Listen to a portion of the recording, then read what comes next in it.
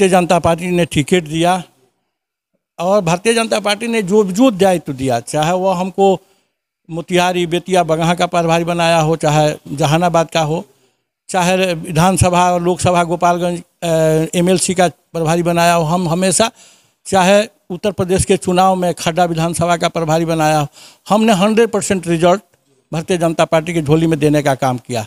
Bharatiya Janata party के लोगों के झेलने की क्या हाँ बात है? केंद्रीय नेतृत्व जो निर्णय लेगा, आपने देखा होगा, एक शब्द केंद्रीय नेतृत्व ने कहा कि नहीं, आपको नहीं लड़ना है, हम कहाँ लड़े? हम उस परिस्थिति में लड़ गए जब दस हज़ार रुपया हमारे पास नामांकन का फ़ीस नहीं था। और आज तो दो चार दस रुपया आप लोगों के आशीर्वाद से सीमान के जनता के आशीर्वाद से हमारे पास है। हम लड़ सकते थे, लेकिन देश को एक मज़बूत नेतृत्व मिला है नरेंद्र मोदी के नेतृत्व में, देश हित में, राष्ट्र हित में और वैभवशाली राष्ट्र बनाने के लिए उसमें काम करने वाले हम लोग लोग हैं।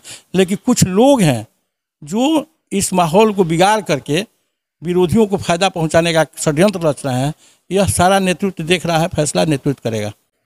ओम प्रकाश यादव को ही को ही टारगेट क्यों किया जा रहा है? और करने वाले आप ही के लोग? ओम प्रकाश यादव एक पिछड़ी जाति से गरीब घर का लड़का है जो अपने दम पर पार्टी के दम पर नहीं जिला परिषद का चुनाव अपने दम पर जीते मुखिया का चुनाव अपने दम पर जीते लोकसभा का चुनाव अपने दम पर जीते। निर्दलीय दो हज़ार दो हज़ार नौ में जब निर्दलीय जब वोट देना प्राण देना दोनों बराबर था ऐसे लोगों से मुझे क्या उजड़ना जो कोई चुनावे नहीं लड़ा है? पहले भी हमने कहा है आज भी कह रहे हैं। जनप्रतिनिधि उसको कहते हैं बड़ा चाहे छोटा जो जनता द्वारा चुना जगह चुन कर आता हो। नॉमिनेट होना जनप्रतिनिधि में नहीं आता है। आप बड़े पद पा सकते हैं। चुनाव एक बार लड़कर देखिए ना पता चल जाएगा। इशारा किसी बड़े नेताओं की तरफ़ हमने संजय बाबा को कहा है। संजय बाबा को मीटिंग में कहा पटना मीटिंग में प्रदेश अध्यक्ष के सामने कहा कि संजय बाबा आप ही चुनाव लड़िए। आपके आका चुनाव लड़े पता चल जाएगा। आपका मतलब कौन? और उनके पूछिए अब संजय बाबा से पूछिए कि उनके आका काका कौन है। वो बताएँगे ना।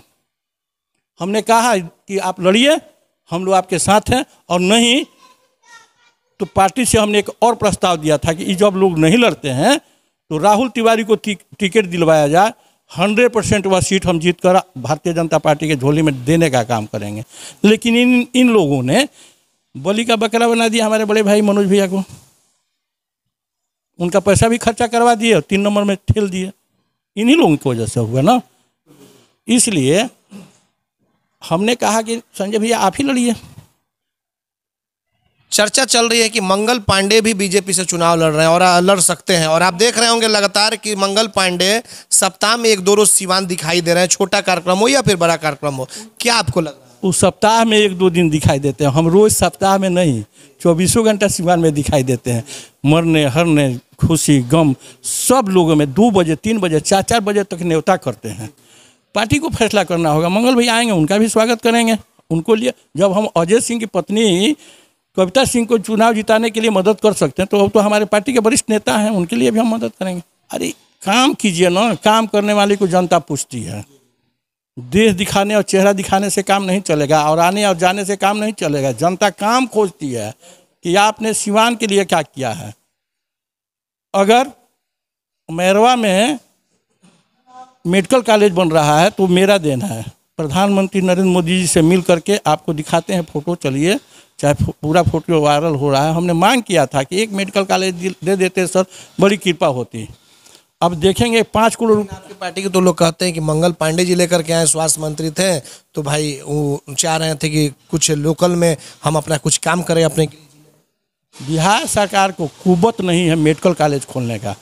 बिना भारत सरकार के अनुशंसा स्वीकृति का बिना भारत सरकार के सहयोग का मेडिकल कॉलेज खोलने का हिम्मत है। तो एक महाराजगंज में खोल कर दिखा ना दें। पता चल जाएगा कि जोशवी जी से कहते हैं कि राघोपुर में खोल दें। नहीं खोल सकते हैं। भारत सरकार की स्वीकृति लेनी पड़ती है। भारत सरकार का अनुशंसा और उसका अनुदान देना पड़ता है। पूछिए उनसे। हमारे पास तो प्रूफ है फ़ोटो है प्रधानमंत्री को ज्ञापन देते हुए। अच्छा ये एक चीज़ बताइए कि अगर मंगल पांडे आते हैं बीजेपी से उस परिस्थिति में ओम प्रकाश यादव जी मंगल पांडे नहीं आएँगे भैया वो दूसरे लोकसभा के हैं। वो महाराजगंज से काहे नहीं लड़ रहे हैं।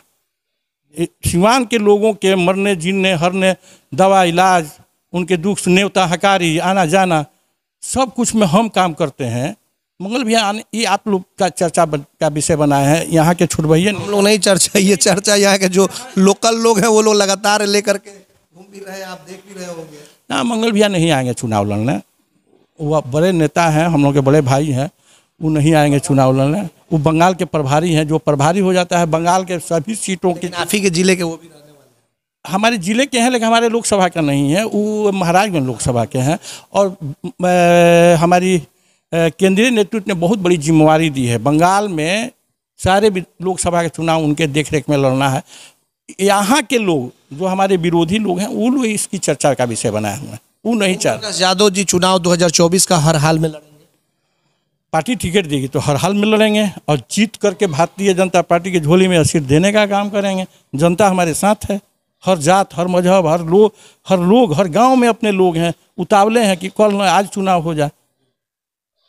पता चल जाए। ये भी चर्चा कर रहे हैं कि ओम प्रकाश यादव जी आरजेडी के भी संपर्क फेसबुक पे भी वही लोग हैं जो आरजेडी के लोग हैं। फेसबुक और आर जीवन में न हम कभी आरजेडी में गए हैं न जाने की तमन्ना है।